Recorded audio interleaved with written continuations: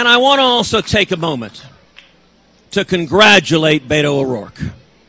He poured his heart into this campaign. He worked tirelessly. Listen, listen, it, it's important. He worked tirelessly. He's a dad, and he took times away from his kids. And I want to I want to also say millions across this state were inspired by his campaign. They didn't prevail, and I am grateful the people of Texas chose a different path. But let me say to all of those who worked on his campaign, all of those who were inspired, that I am your senator as well. My responsibility is to represent every Texan.